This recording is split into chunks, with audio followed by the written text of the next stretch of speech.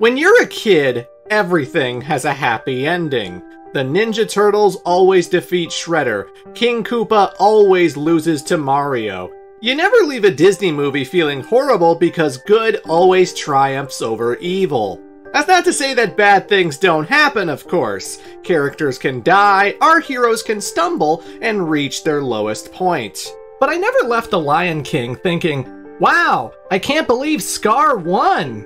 Despite the horrible tragedy, the bad guy still gets his comeuppance, and Simba restores the Pride Lands to their former glory.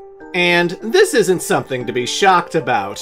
Nobody wants to be depressed. We all crave that feel good finale that teaches us how goodness is rewarded. A lot of these stories are morality tales, and I think even adults don't want to be reminded of how unfair life can be. But there is something to that. Sometimes it's interesting to see how one character's selfish desire can lead them to ruin. To be confronted with the worst case scenario. And I got to feel my first slice of that when I watched the children's horror show, Are You Afraid of the Dark?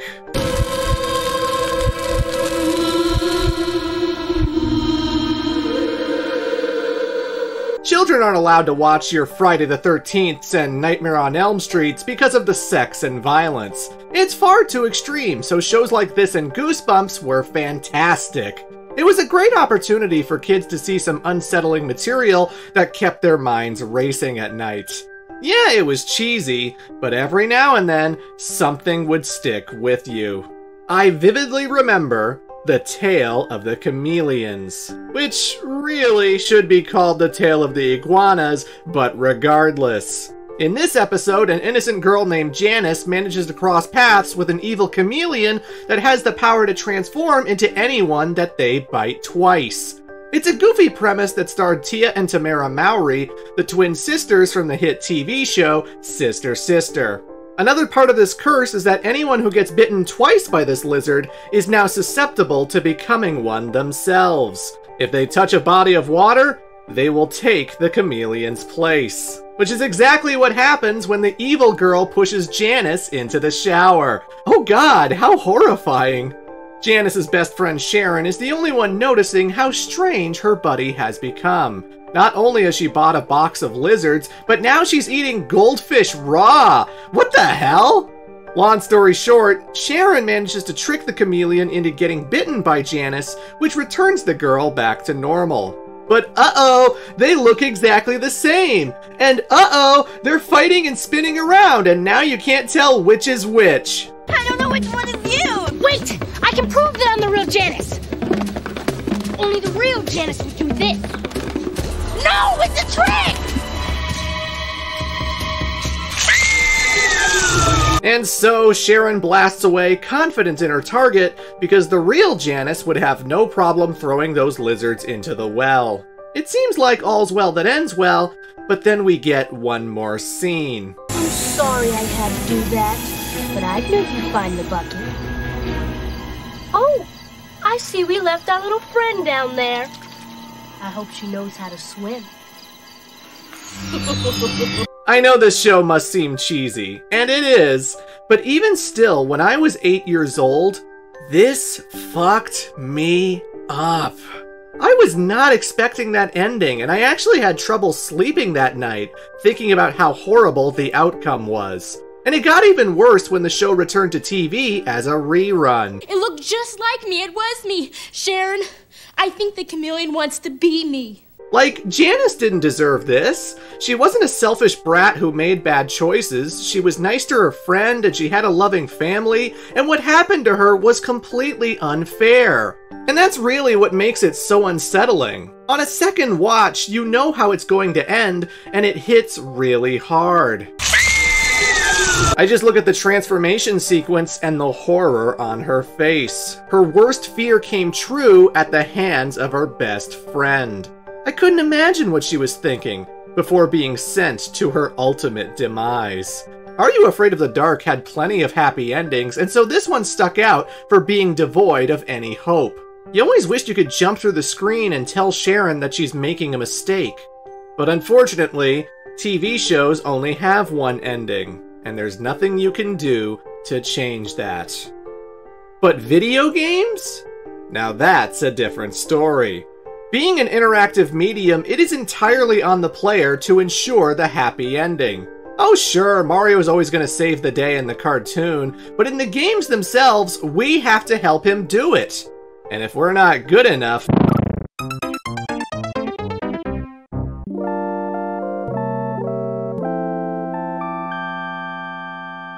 That's a halo above his head! Mario is dead! Video games have always been about challenge, and game overs are a major part of that. And in the old days, all we usually got was a simple title card.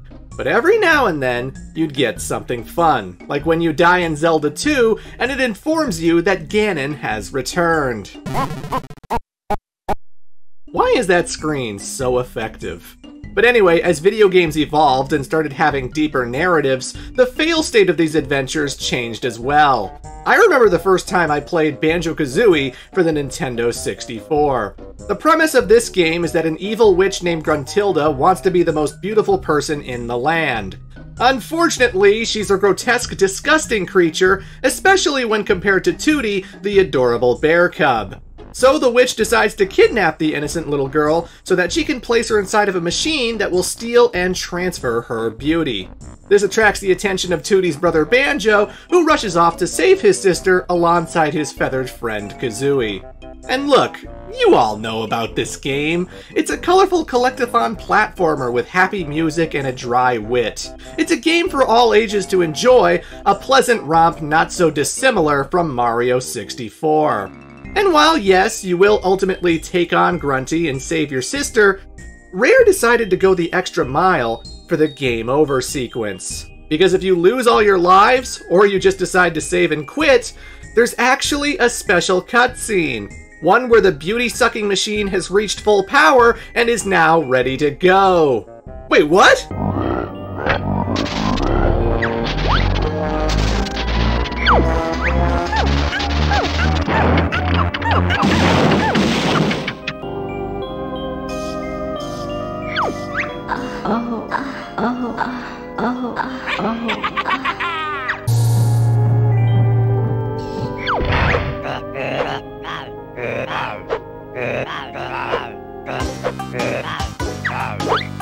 I know this ending is kind of played for laughs, what with Mumbo asking Grunty out on a date even though he's supposed to be one of your trusted allies, but even still, when I was 10 years old, it gave me the willies. I wasn't expecting to see the consequences of my failure, to see Tooty robbed of her innocence despite not doing anything wrong.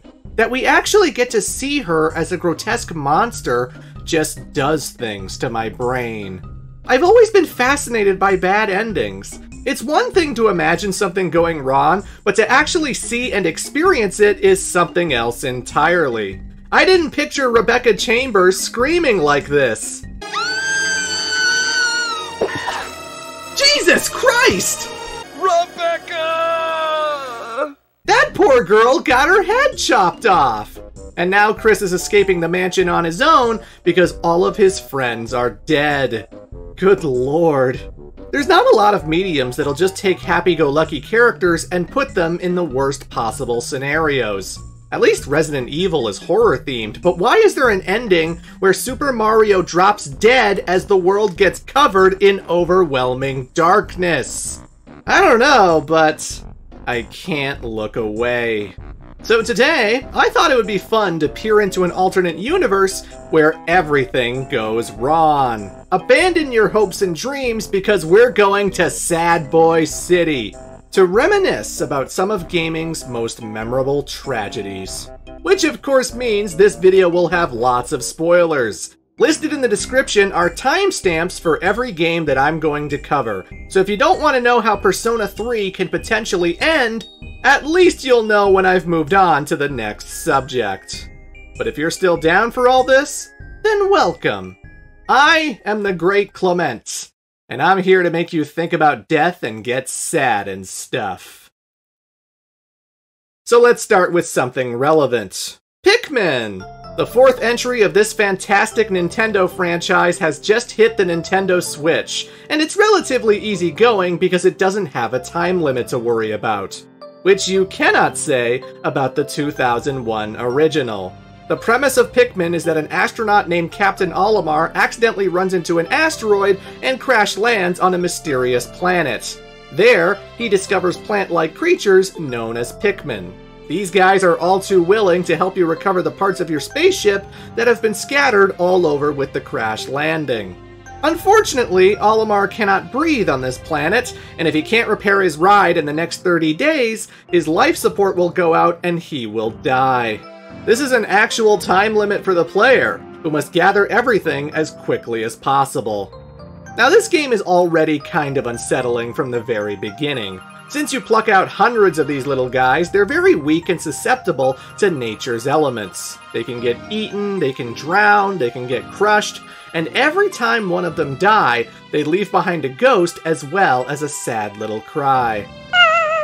This is a dog eat dog world where you gotta kill a whole bunch of ladybugs in order to survive. This whole time, Olimar is writing in his diary about the struggles of getting off this planet how he longs to return to his wife and two kids, who are no doubt worried over his disappearance. The days go on and Olimar starts losing weight rapidly because of the lack of food. The stress of wanting to escape is making his hair fall out.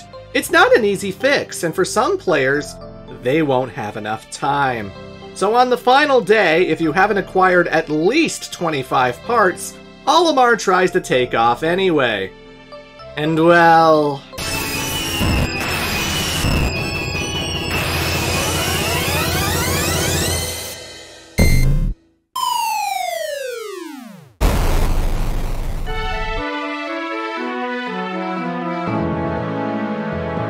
Olimar's life support runs out, and so he succumbs to the poisonous atmosphere and dies.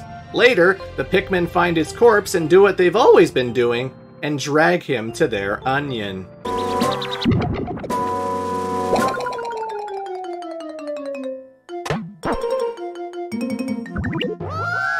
And it seems that maybe Olimar has been reborn as a Pikmin himself. But even so, who's gonna pluck him out. Whether he's achieved rebirth or not, he's still stranded on this lonely planet. His coworkers, his family, no one will ever know what really happened. It's amazing and quite sad how someone can just disappear off the face of the galaxy. But hey, Pikmin is far from the darkest thing in Nintendo, because whoo boy, there is The Legend of Zelda Majora's Mask. Being a sequel to Ocarina of Time, Link leaves Hyrule and finds himself in a strange new land called Termina.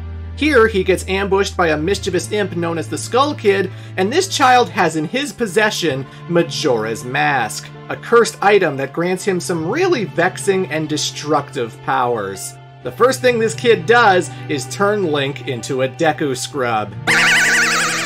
Why did he do this? Because he could. The Skull Kid has been going ham on all of Termina, poisoning the swamp, turning grown adults into children, freezing out the Goron race, splitting fairies apart. It's because of this kid that a little girl has to keep her father locked in a closet because he's turned into the undead. The land of Termina is not doing so well. But that all pales in comparison to the main event. The Skull Kid has used his terrifying magic to pull down the moon. And when Link arrives, he only has three days to save the world, or else it's going to crash into the planet and kill everybody. Luckily, his ocarina can be used to rewind time so that he can repeat the cycle and figure out how to stop this from happening. But even still, this is a real time limit, and I knew tons of kids who couldn't reach the Skull Kid before the first three day cycle. So if you can't get to your ocarina in time, the end of the world occurs.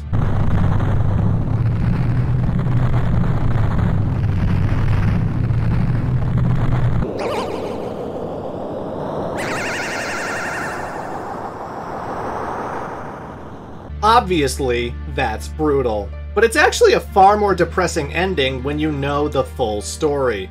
See, before the Skull Kid had found this demonic mask, he was just a little boy who was friends with four magical giants. And then one day, they decided they needed to leave the land in order to protect the people who dwell there. But the Skull Kid ultimately felt abandoned, convinced that his friends didn't care about him anymore. Rejection can certainly motivate some of the darker instincts of human nature. And even though he eventually made new friends, his mischievous ways led him to attacking a salesman who was carrying Majora's Mask. With ultimate power at his fingertips, the Skull Kid could finally take out his anger on the world that rejected him. These dark impulses twist and change him, leading to the relentless wrath upon Termina, of which his only friends aren't even safe. What's really sad about all this is that the Giants never hated him. They were always his friend, they just had bigger responsibilities to worry about. All the kid needed was a support system, real human connections to lift his spirits and let him know that everything was going to be okay. Alas, hurt people hurt people. And if a hero like Link isn't up to the task, all those people living their lives just get erased for nothing. A wave of destruction fueled by one child's loneliness.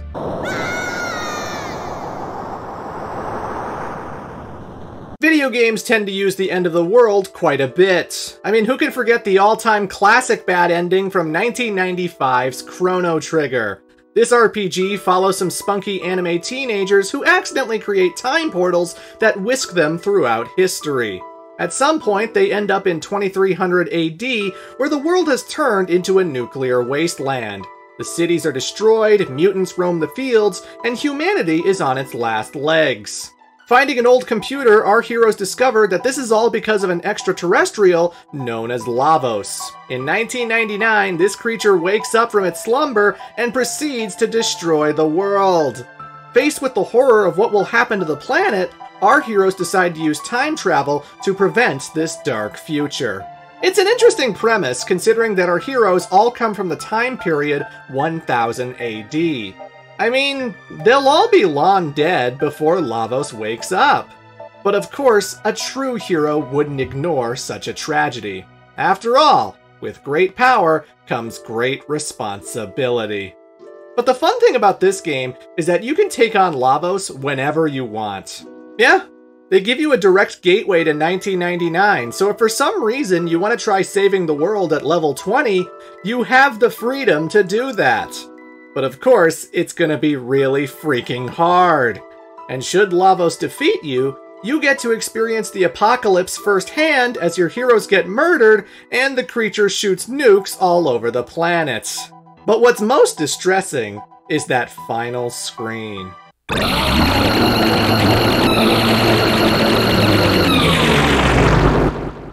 When I was younger, this ending gave me nightmares. Lavos' scream is goddamn horrifying.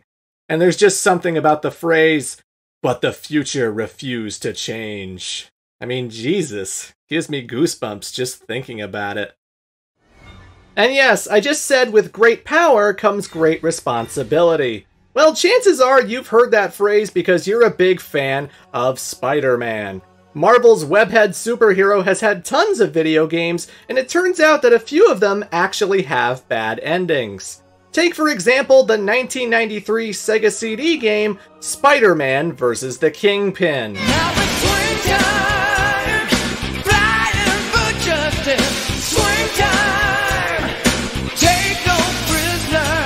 I love the 90s! In this game, Peter Parker is just trying to enjoy a night alone with his wife Mary Jane when that dastardly Kingpin comes on TV to tell us all that Spider-Man has turned evil. It has come to my attention that Spider-Man has turned renegade. He is perpetrating one monstrous crime after another all across our city. But I never did that! Apparently, Spider-Man has stolen a nuclear bomb and is planning to blow up New York City in 24 hours. In reality, this is the Kingpin's doing, because he wants our hero to face off against his rogues gallery. Only by defeating Doc Ock and Venom and everybody else can Spidey get the keys that will deactivate the bomb.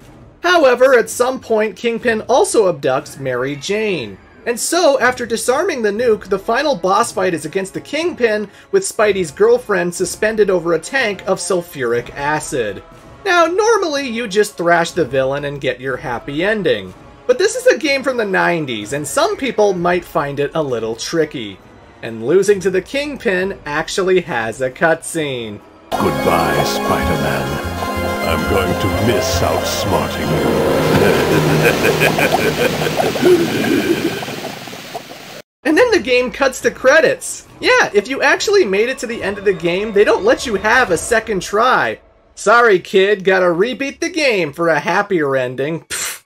And even that's not guaranteed, because this game has a second bad ending. Oh, sure, you might not lose to the Kingpin, but what if you take too long? Because during the fight, Mary Jane is slowly being lowered into the acid tank. And if you're not quick enough, she suffers a horrible fate. Mary Jane! My lawyers will have me out by dinner time. Oh, and it's a shame about the young woman, isn't it? You'll pay for this, Kingpin! I swear you'll pay! And once again, if you get this ending, you're locked into the credits. Good lord. While Spidey doesn't die along with her, it's still really bleak that the man failed to save his wife. You figure this failure is going to haunt him for the rest of his life. Especially if he already failed to save Gwen Stacy. Bad ending? Oh yeah, but I do know a guy named Miguel who would argue that this was his canon event. Anywho, this isn't the only game where things go badly for our wall crawler. Because there's also Spider-Man Web of Shadows. In this game, Spidey is battling his old nemesis Venom when a piece of the symbiote breaks off his body and attaches itself to our hero.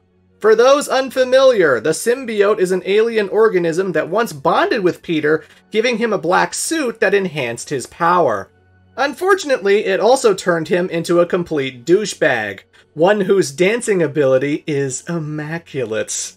As you can imagine, getting reacquainted with the black suit is a bit conflicting. Tell me you don't have that black suit again. Well, it's complicated. You have it, don't you? You know what that does to you. You know how it can change you. You know, it actually worked for me. At first. Maybe this time it's different. Oh, that's a slippery slope, Peter. So in this game, you get to decide whether Spider-Man should stick to what works, or whether he should embrace the symbiote. Usually this always amounts to a binary good or evil decision that's about as subtle as a brick. But hey, the option's there, and some players will want to see what happens. Black Suit Spider-Man doesn't care about casualties. To him, the ends justify the means. Also, he might find Black Cat to be a far better girlfriend than that nagging goody two-shoes, Mary Jane. You're right. I could use a little more fun in my life. I promise you, this whole city is yours. Anyway, things escalate when Venom manages to reproduce, infecting all of New York and turning everyone into symbiote monsters. Everything's gone to shit, and only with help from a machine built by the Tinkerer can our hero save the day. But the whole time, Black Suit Spider-Man is going further down the dark side, even ripping Wolverine in half just because he can.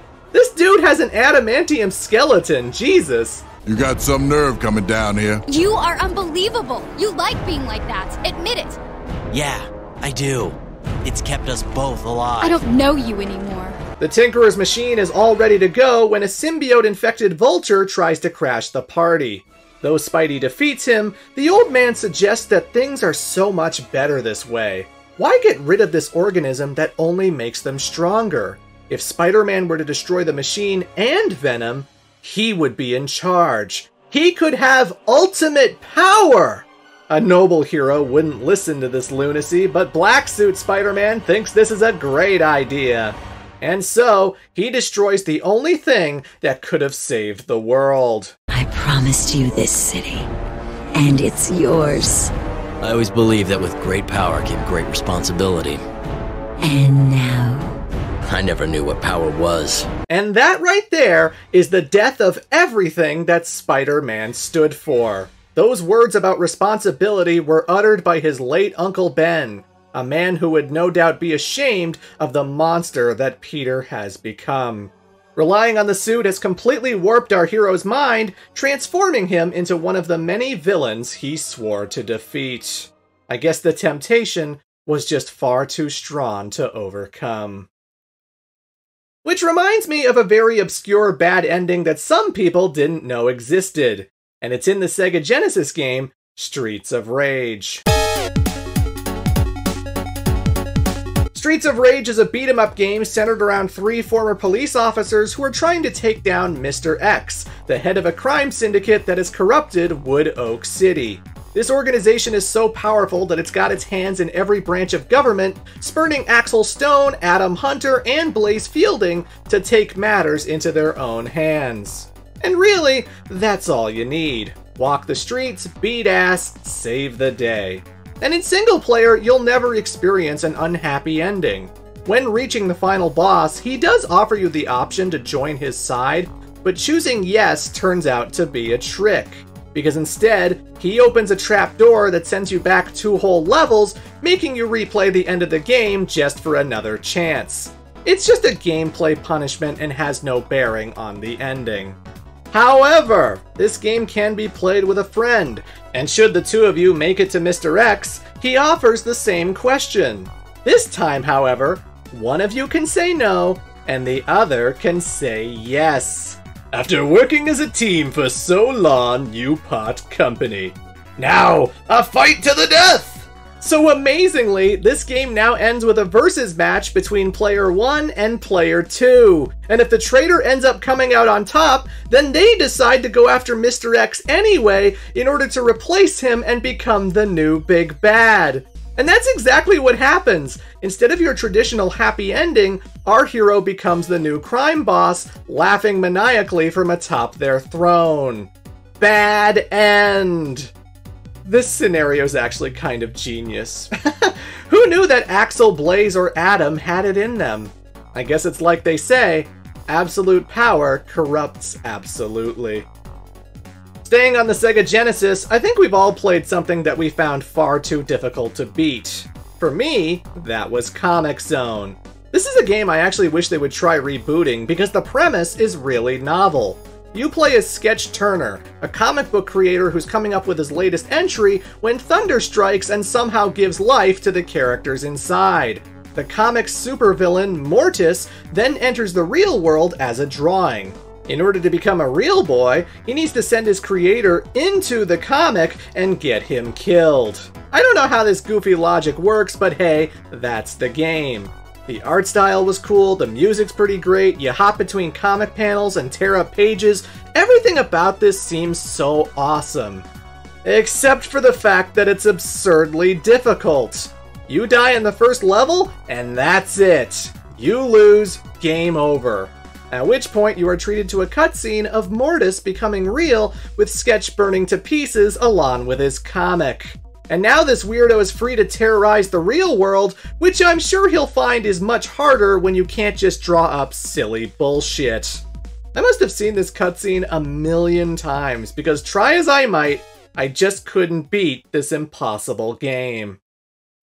Why couldn't it be more simple? You know, like Sonic the Hedgehog. Ah yes, the blue Sega mascot that fans of this channel know all too well.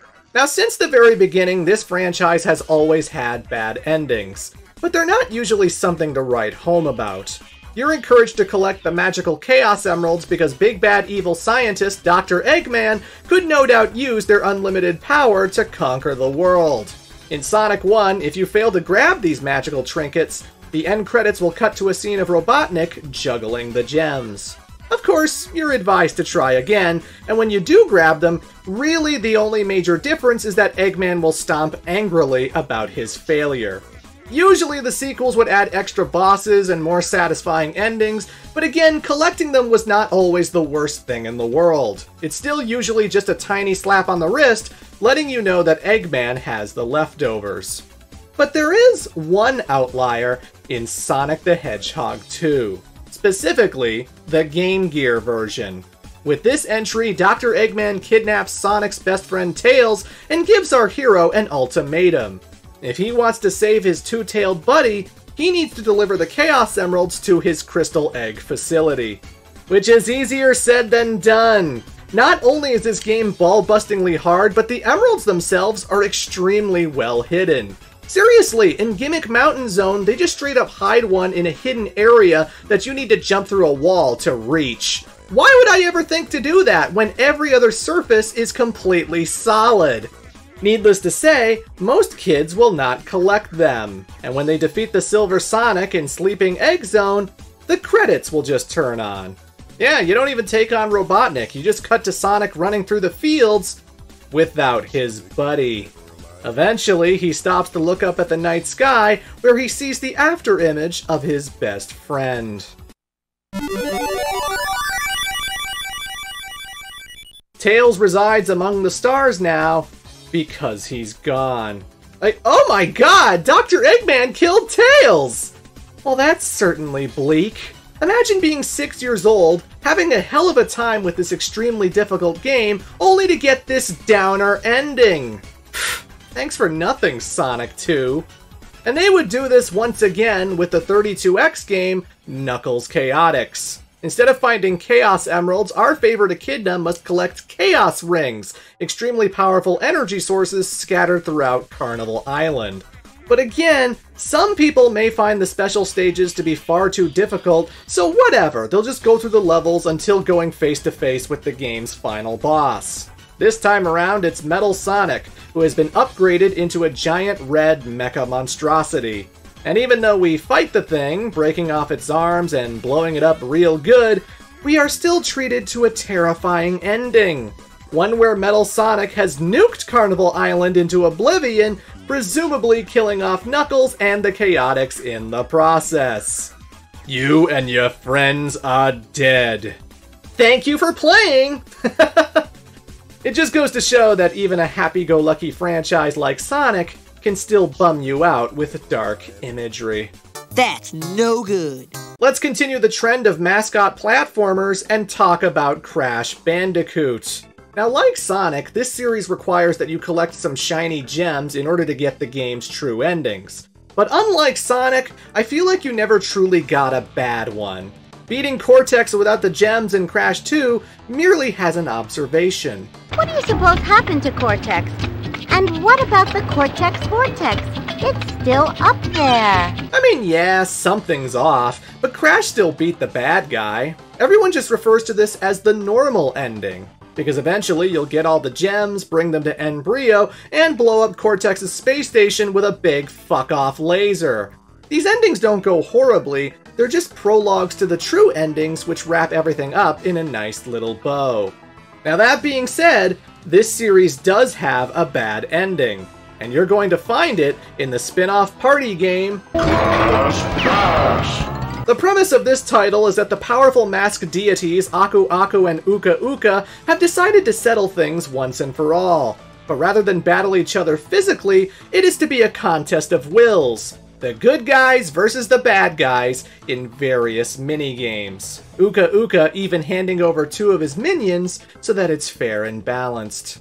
So yeah, you pick which of the eight characters you want to play, and then you compete in extremely repetitive activities.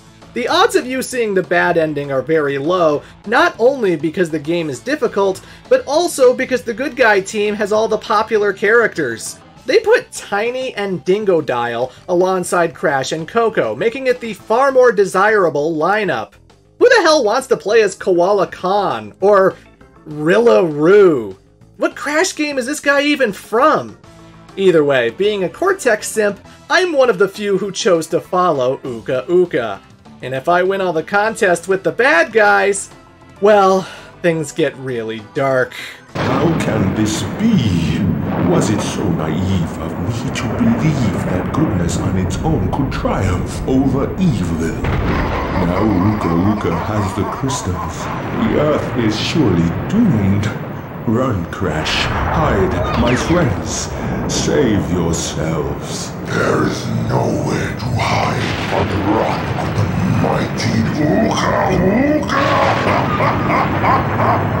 I love how even when faced with the world's inevitable destruction, Crash can still only muster a comical whoa!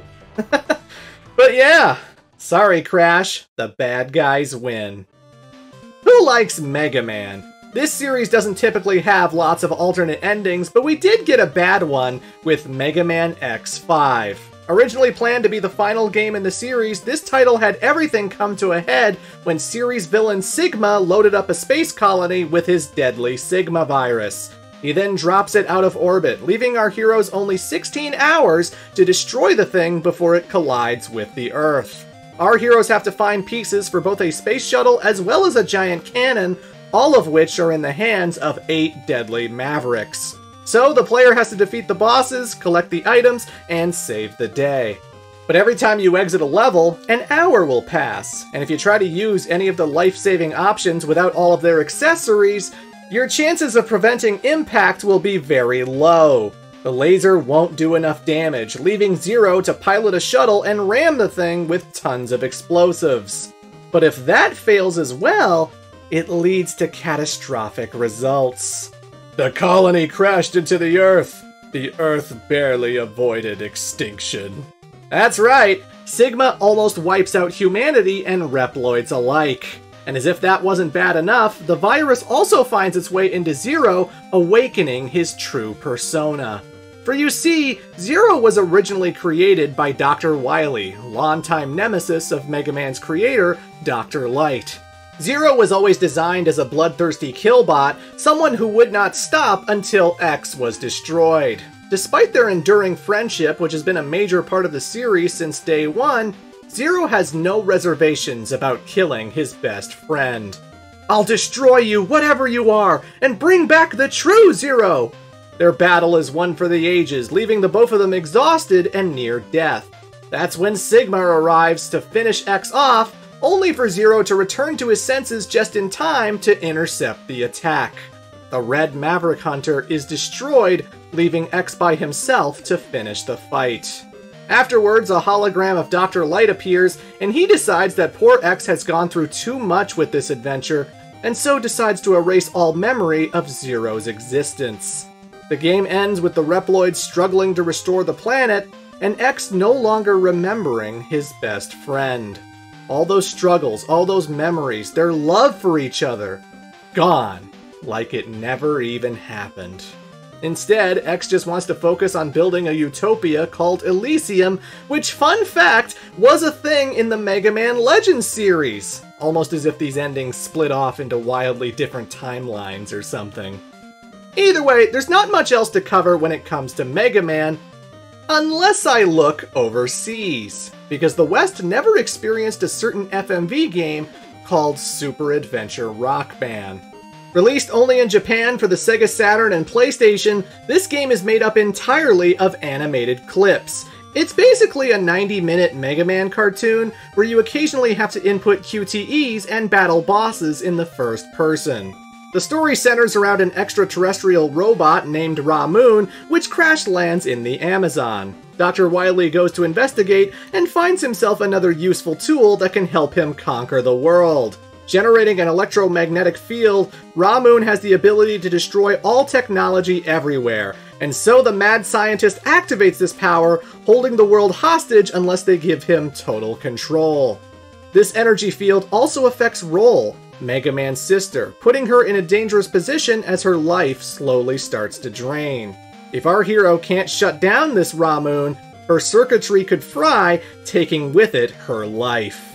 So Dr. Light preps our hero and sends him to the Amazon, where Dr. Wily is protected by the usual robot masters. Now this game isn't super hard, but it expects you not to take too much damage, because your health remains the same going from battle to battle.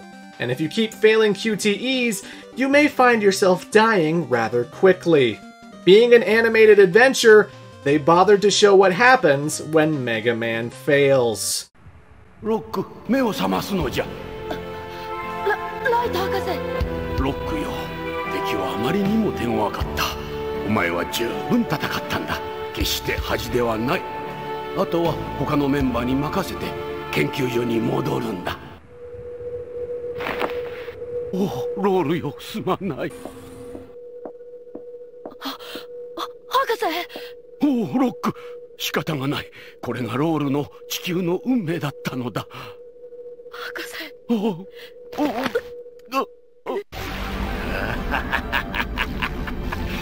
ついに邪魔者は敗北した。これで地球は本当にわしのものとなったのじゃ おおラモンよ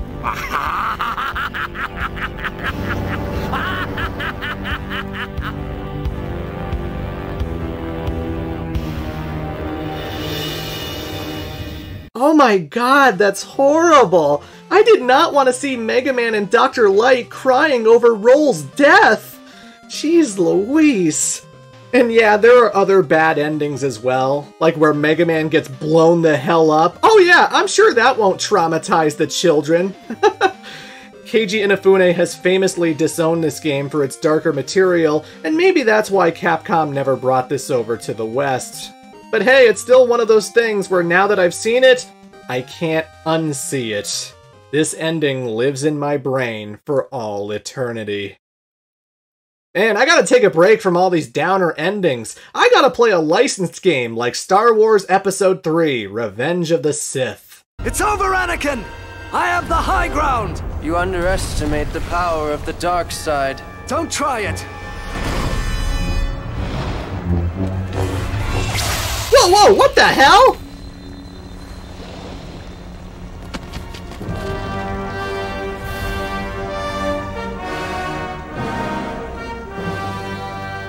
yeah, in the PlayStation 2 tie-in game, you can choose to play as Anakin Skywalker during the final confrontation. And instead of you getting beaten anyway, they bothered to put in a what-if scenario where Vader came out on top. Which is all the more sad thanks to the extra dialogue. Anakin, please, come back to the light. Face up to what you've done. I can help you! It's too late for that. You're too late. You only want to help yourself. You know that's not true! There's something heartbreaking about Anakin acknowledging that it's too late to turn back. And it certainly is. Not only has he changed the saga, but he's not done yet. There are none left to oppose us. The galaxy is ours now.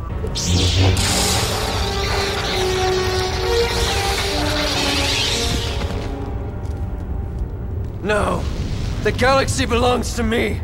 I like the clone troopers looking around like, uh, should we shoot him? but yeah, Darth Vader conquers the galaxy. This series has a lot of bad endings that usually exist because of morality.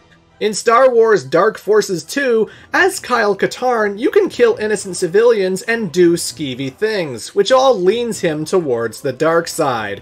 And when the bad guy Inquisitor Jerec captures his girlfriend, he offers him a choice. Strike her down and realize your true destiny as a Dark Jedi, your true power! Hey, stop laughing at his costume. This is serious. Why do I need you, Jerec, when I can take all the power of the Valley myself?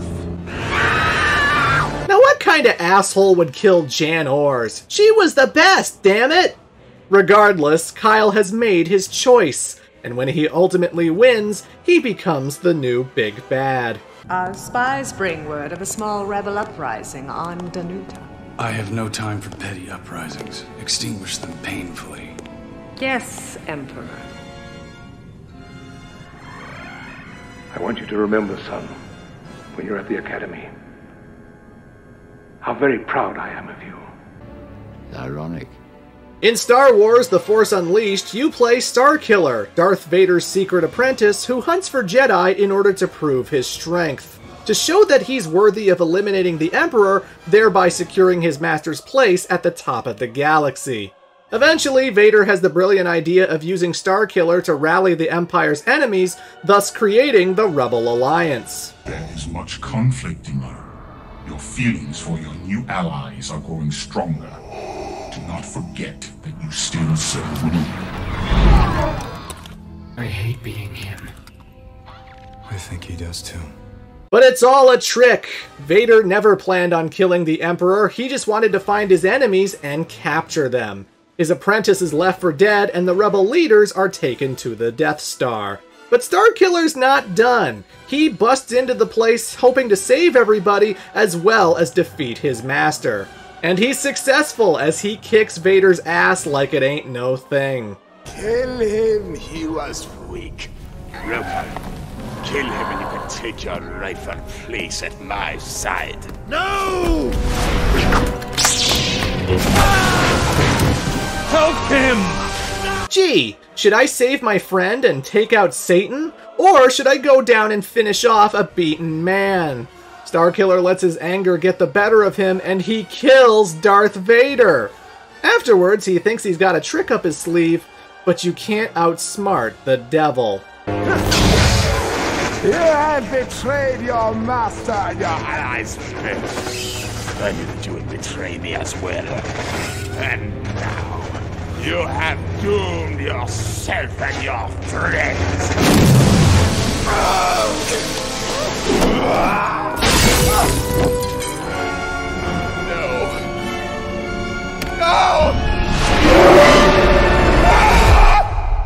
Eventually, Starkiller wakes up and finds that his body has been mangled and put back together inside of a hideous robot suit. Just like his master before him, he is destined to serve as the Emperor's slave, a disposable henchman that will follow orders until someone better comes along. Finish.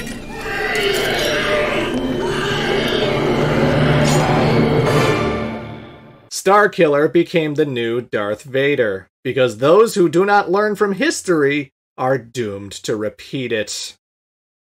There is nothing more miserable than being someone's whipping boy. Just ask Abe, the main character of the Oddworld series. The 1997 game Abe's Oddysee is set in a very dark and depressing place. A world dominated by capitalism, where big corporations have enslaved a race of people known as Mudokons. Not only are these poor guys toiling away in their factories and mines, but some of them are even getting their mouths and eyeballs stitched together. Good God! Now, the Glukkons in charge are short sighted, so one day they find that they can no longer serve their Meech Munchies because the Meeches are now extinct. Being evil as fuck, they come up with a new food source to satisfy their customers. Mudokons themselves! Yes! They plan on feeding their slaves to their oblivious customers, all in the hopes of increasing their profit.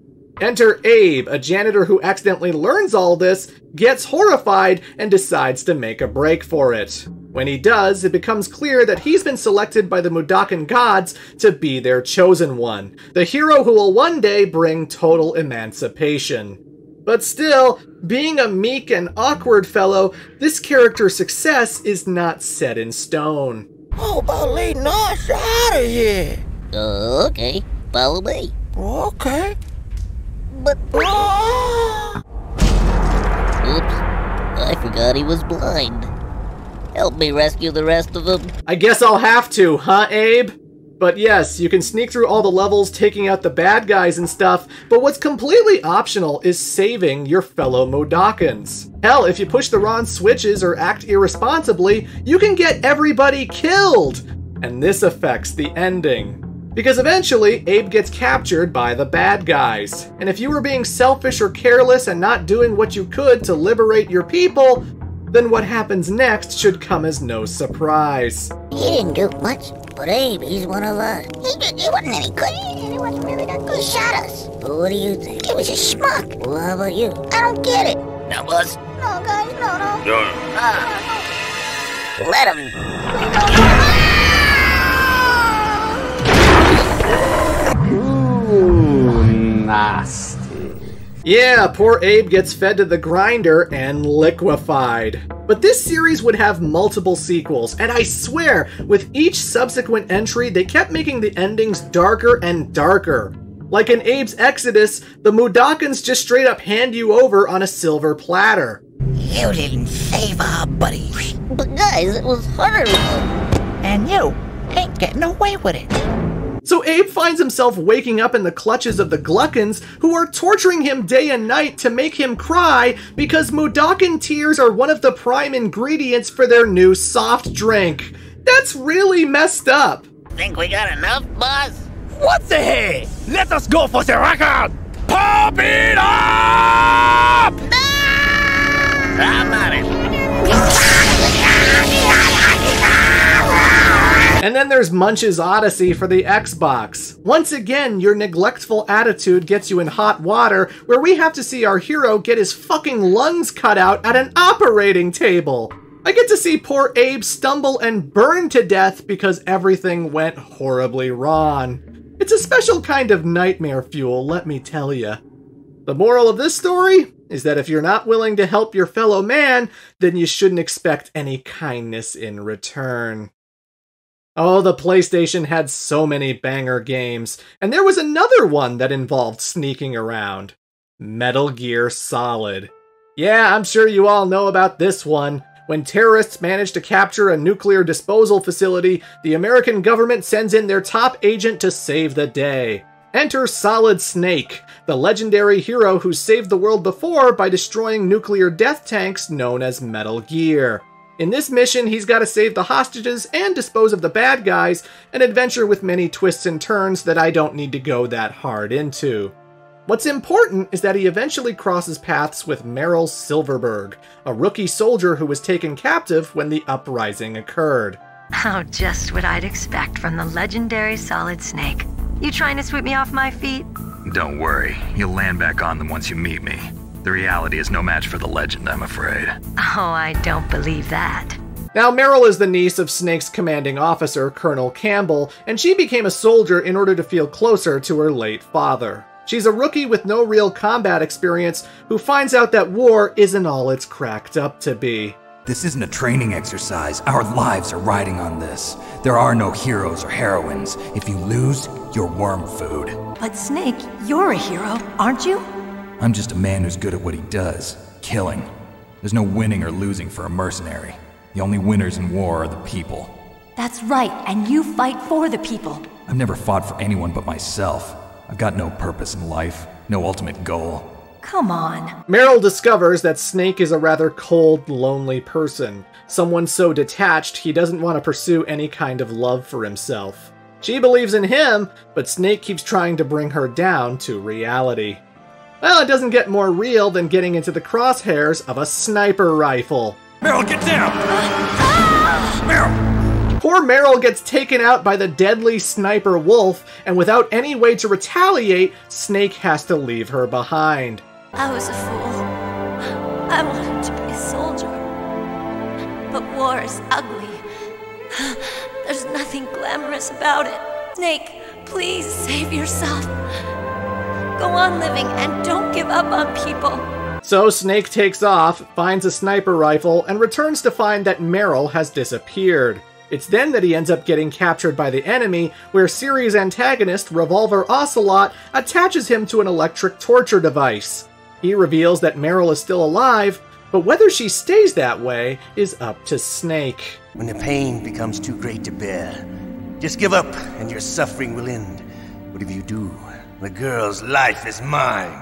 This section is also the only point in the game where dying prevents you from retrying instantly. Instead, you get kicked to the main menu, meaning if you haven't saved in a while, you'll have to redo tons of progress. Also, don't even think about using auto fire, or I'll know. You can't even cheat with a special controller! So if you don't want to redo lots of progress and you're just not that good at button mashing, you'll have to give up. You. you win. So, you're human after all. The torture will stop as I promised. But I'll take the woman in return. I'll have my fun with her before I kill her. Meryl. I hope you can still look at yourself in the mirror, my friend. While he does eventually escape custody, destroy Metal Gear, and save the world, he couldn't save the girl. I gave in to my pain. I sold your life to save my own. I'm a loser. I'm not the hero you thought I was. I guess blaming yourself makes it easier, huh? If you do that, you can keep the pain at a nice, safe distance. People die. But death is not defeat. Life's more than just a game of win or lose. Don't you think? Let's live, Snake. Meryl, I hope you're still watching me. Maybe I can prove myself to you after all. Another sad addition to this ending is that we learn from Colonel Campbell that Meryl wasn't his niece after all. She was, in fact, his daughter. something you don't actually find out in the good ending, which is quite the reveal for someone doing a second playthrough. The game skirts with the idea of whose belief was right. Was Snake truly just a cold, detached killer, or was he more of a hero than he thought he was? One would assume that Snake was correct, that Meryl's naive optimism was misplaced. But if anything, I think this reinforces the change that Snake makes in his life. Even by failing to save Meryl, Snake will forever remember his promise that people can do more, that life is worth living, that even a man like him shouldn't shy away from his own happiness. A lot of people actually prefer this ending, not because they didn't like Meryl, but because it's very subversive to your typical action hero fare. A sad ending to be sure, and yet it's a hopeful one as well. But what if wanting to live your life could actually be the bad decision? Well, that's something players dealt with when they played Persona 3. The premise of this game is that a whole bunch of scientists tried to control space matter, but only ended up creating something called the Dark Hour, a 13th hour of the day where the world transforms into a dark alternate dimension, complete with tons of shadowy monsters who want to tear things up. Only a bunch of teenagers who have awakened their personas, the living embodiment of their inner subconscious, can save the day. Your character teams up with his fellow students, as well as a sentient robot girl named Aigis, who has tiny nub feet that look incredibly awkward to walk on. You also have a dog for a party member, because why not? now, they spend every month trying to take out 13 major shadows, hoping that this will repair the space time continuum and eliminate the anomaly. It doesn't end up working, but it does spurn the appearance of a new student to your high school, a kid named Ryoji. Eventually, Aigis comes face to face with this man in the dark hour where all of his memories come flooding back. No, he's not a teenager. He is in fact the Appriser, the living vessel for Nyx. Nyx is the mother of shadows. In ancient times, she bestowed death to this world. If she is awakened, darkness will once again cover the land and all life will vanish. When? When will it happen? I'm afraid you will not live to see spring.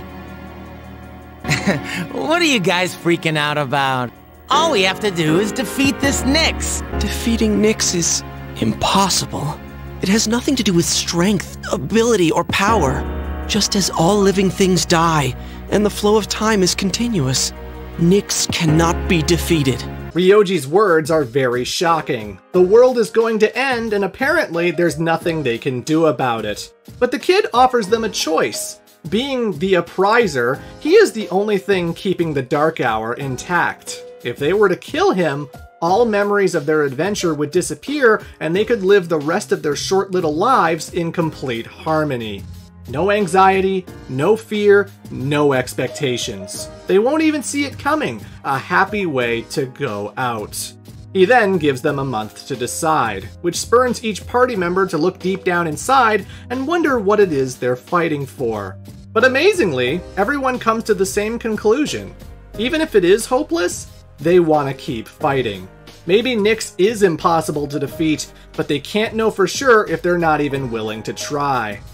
But ultimately, the choice is up to you. Don't tell me you've all decided to let me live. You're all going to risk your lives on a battle you can't win. So, you understand. Going against the wishes of your fellow party members, you decide to kill Ryoji. Sure enough, all memory of the Dark Hour and the grand connections you've made disappear completely. Hey, uh, is that girl looking at us? Dude, she's pretty cute. How come I never noticed her before? The only person who wasn't affected was poor Aigis, who can only sit there and wait, bracing for all of life to get extinguished.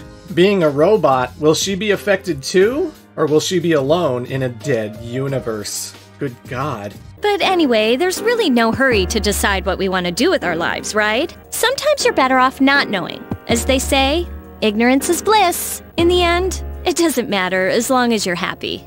Let the good times roll. Karaoke, anyone? Let's celebrate our future. The ending, when taken out of context, seems pretty happy actually. Everyone's enjoying their lives, looking forward to the next year. The end credits music is still triumphant and beautiful, and the final shot shows everyone bonding over karaoke. What a game, right? But of course, we know the dark truth that lies underneath. I'm willing to bet that singing karaoke was the last thing these guys ever did. Ryoji did say that it would be instantaneous after all. Your character ignored his friend's desire to fight back, he chose to live in denial rather than face his problems head on. You'll always miss 100% of the shots you don't take, and now all of existence is going bye bye.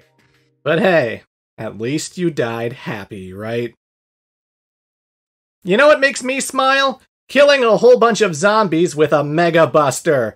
A wacky option that's always available in the Dead Rising series. When someone manages to create a pathogen that turns people undead, some poor schmuck has to navigate a shopping mall filled with these guys. Not only that, but they also have to race against the clock so that they can get to the bottom of what exactly happened. The first game starred Frank West, a photojournalist looking for a scoop. You know how to use this? Kinda. I've covered wars, you know. He ends up crossing paths with the villain responsible, but things still go south depending on how you play. If you miss out on the time-specific main quests, then you're locked out of the true ending. Potentially, Frank can escape just fine, but without the truth, he can't prevent future zombie outbreaks from destroying the country. Or worse yet, he can't stop the bad guy from setting off a bomb that destroys the mall and spreads the virus. He could be left behind, he could get captured by the military, maybe the helicopter guy gets eaten by a zombie. I mean, there's tons of possibilities. This is also the case with the sequel, Dead Rising 2. In the second game, you play Chuck Green, a man trying to take care of his daughter Katie, who had been bitten in a prior outbreak. Since she's infected, the only way to keep her alive is to take a pharmaceutical drug called Zombrex every 24 hours. Yeah, it doesn't last long, and as you can imagine, it's pretty darn expensive. This forces Chuck to compete in a reality game show that's all about killing zombies. He has to drive his motorbike headlong into mobs of these guys just to get paid and entertain the bloodthirsty masses. Oh, this universe is fucked up. It turns out when a zombie outbreak happens, there will be plenty of people that embrace their true selves, becoming crazy evil psychopaths. Some of the many unique boss fights that Frank and Chuck have to deal with. Anyway, long story short, a second outbreak occurs and Chuck gets framed for it. So the guy has to go looking for proof that will clear his name and keep him out of jail.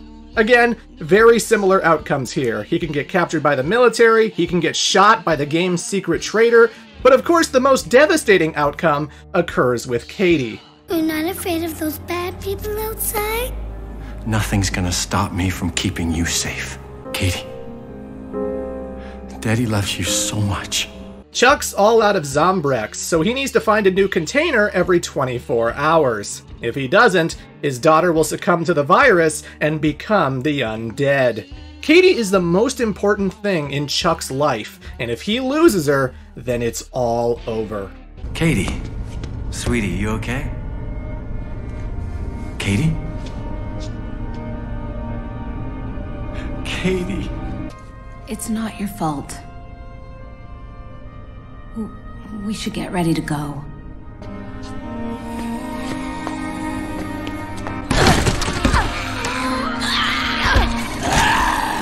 Yeah, Chuck will just give up, letting the zombies eat him alive because he has nothing left to live for.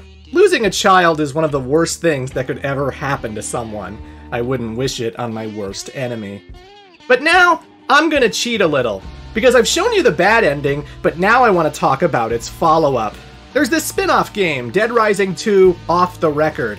It's basically identical to the original version, except Chuck has been replaced with Frank West, the hero from the original. And with him comes some new content, including a new psychopath who looks awfully familiar. Hey! You get the hell away from my bike! Oh, yeah! Off the Record decides to continue on from one of Chuck's bad endings, where poor little Katie has been killed and the biker won't accept it. These zombies. They're annoying, sure, but they're easy to kill. Hell, kinda, kinda fun even. An outbreak like this does things to men. The violence, the death, makes people snap. Just like that. I like the mirror that this holds up to the player. A person wearing wacky costumes who takes glee in killing zombies in the goofiest ways. I mean, yeah, wouldn't they be completely deranged? Katie needs her Zombrex every 24 hours. Right, baby? Let's get you and your daughter back to the safe house so that. Get the hell away from her. Ooh, crap. You're just one of those nutbars! You just want to hurt her! Keep her from getting her Zombrex! Nobody messes with my kid. Perhaps Frank and Chuck were always unhinged, one bad day away from being the very psychopaths that they keep stumbling into.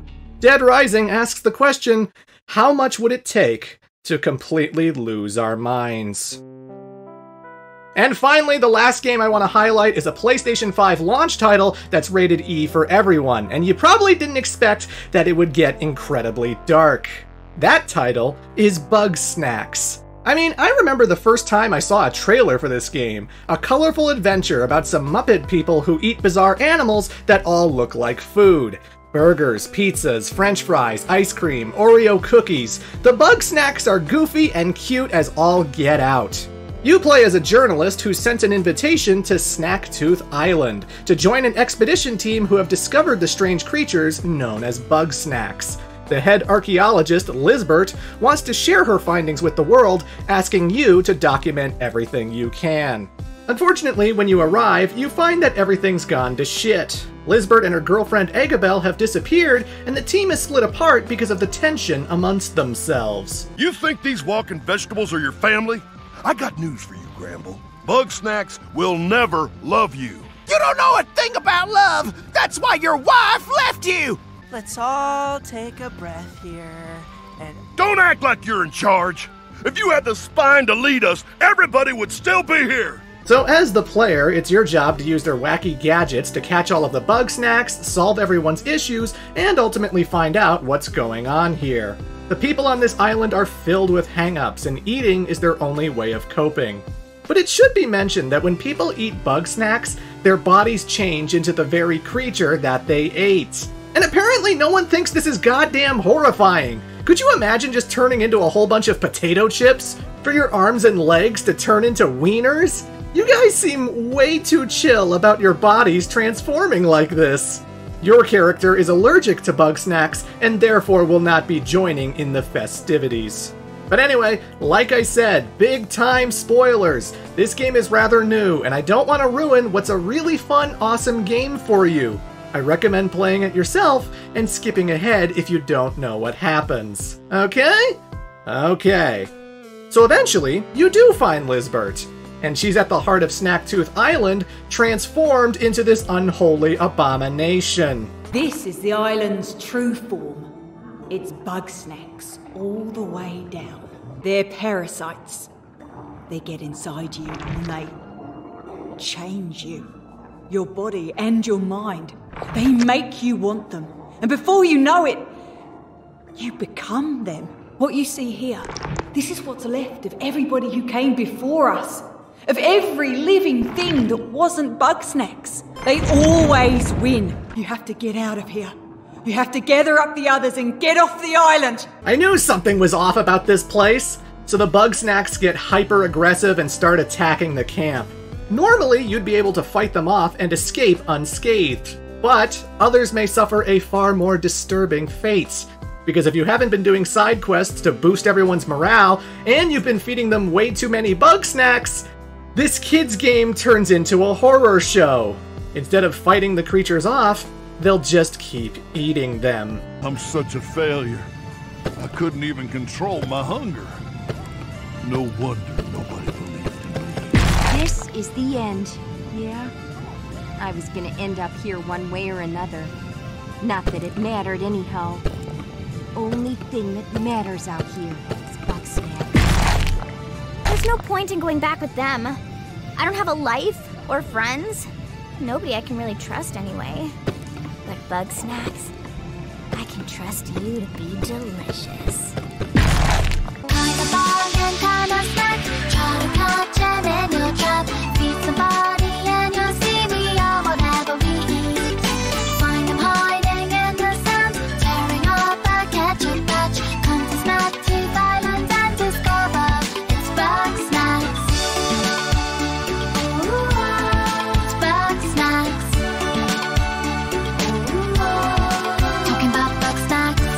I can move on.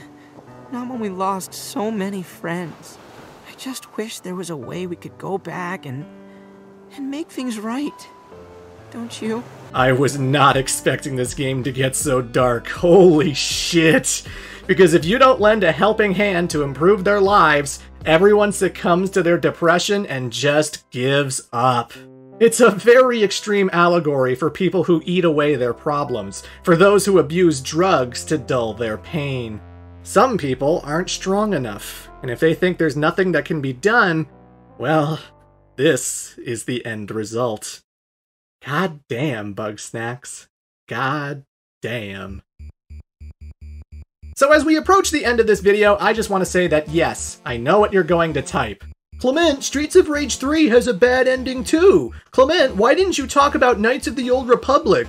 Clement, what about Persona 4 and 5? You forgot this, you forgot that. Why didn't you mention this? Why didn't you mention that? Look, the video is long enough as it is! There are so many bad endings in video games, I could make a part 2 or a part 3 to this. I didn't even talk about fighting games. You know, in Tekken 5, if you lose the Jinpachi Mishima and don't press continue, there's actually a cutscene.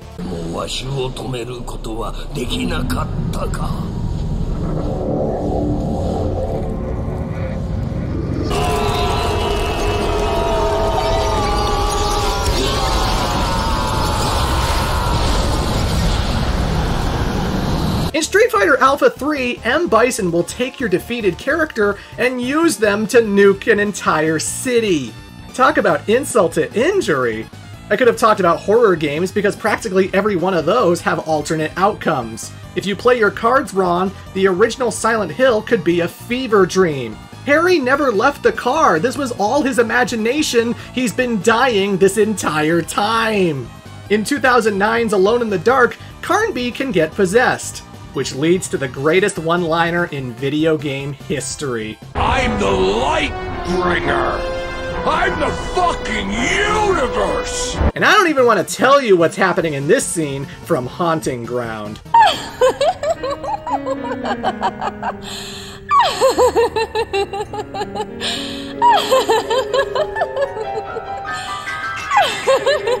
At the end of Cuphead, the devil offers you a place at his side, and you can take it, turning Cuphead and Mugman into demonic versions of themselves. In Mass Effect 2, you can screw up the suicide mission so badly that even Commander Shepard doesn't make it out alive. You have to really go out of your way to know that this is a possibility. Heavy Rain doesn't have a fail state. Every time something goes wrong, the game just keeps on trucking. As you can imagine, bad endings aplenty. The origami killer has taken a ninth victim. The body of Shaun Mars was discovered this morning on wasteland north of the city. The officer in charge of the investigation, Captain Leighton Perry, has resigned this morning. Hey guys, you want to turn down the triumphant music? Jesus Christ! I didn't even talk about Castlevania games. Those have plenty of bad endings. And then there's FMV games that are all live action footage just waiting for the player to make the wrong choices. In Myst, you end up inside of a book while not Kevin Smith tears you to pieces.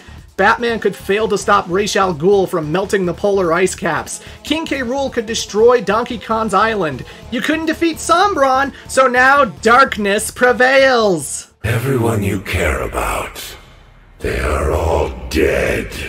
These are the bad endings of video games. But before I go, I'd like to point something out. This topic was about things going wrong. It was not about dark endings in general. If it were, I would have brought up The Last of Us Part 2, because by the end, things are much worse off than when the game began. But you see, that's the game's only ending. You can't make it happier or darker, it only has the one outcome. Whereas every single example I've given today does have a happy ending. In Majora's Mask, Link can prevent the moon from falling. He'll defeat the demonic entity, everyone in Termina will be happy, and he'll even save the Skull Kid by becoming his best friend. It's genuinely one of the most feel good endings in the whole entire series. Snake can save Meryl's life. Abe can liberate the Mudokons. Olimar can escape that planet. Roll is gonna be just fine. No matter how bleak the situation, how hopeless one can feel, nothing is set in stone. We control our own destinies, and we can make our happy endings come true. It won't always be easy. Things will go wrong. Things will get darkest before the dawn. But if there's anything these alternate endings have taught me, it's that it's still worth trying. How important it is to hang on to one's convictions. What a difference helping others can make. These dark outcomes aren't meaningless. I think they're a wonderful window into our anxieties and fears. An interesting examination of what makes us tick. Sometimes, to do the right thing, you need to be reminded of how bad it could get. And for that, I will always find bad endings to be fascinating. Thank you so much for watching this video. Hey, did you guys know that I'm really slow when it comes to making these things? to be honest, it would have been done ages ago, but I was dealing with a lot of technical issues behind the scenes. Ugh. Well, my next project will be a follow-up to one of my retrospectives as I'm giving my thoughts on Final Fantasy XVI. So look forward to that, and I thank you once again for your patience. I am the Great Clement. Until next time, Toodles.